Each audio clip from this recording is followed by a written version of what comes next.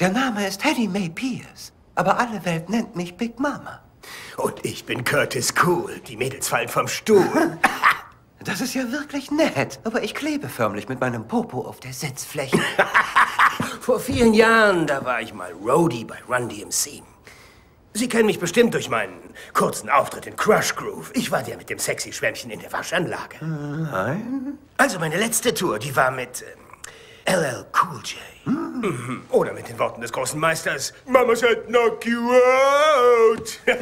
Äh, und, und dann, Junger Mann, ich habe bereits Enkelkinder. Ich bin die neue Herbergsmutter in Price Hall. Und ich bin noch dabei, Neuland zu erkunden. Und ich habe mich gefragt, ob ich einen Blick in die Bibliothek werfen könnte. Dann ist Curtis Cool wohl Ihr Backstage-Pass. Das ist cool. Ich muss nur eben den Schlüssel holen.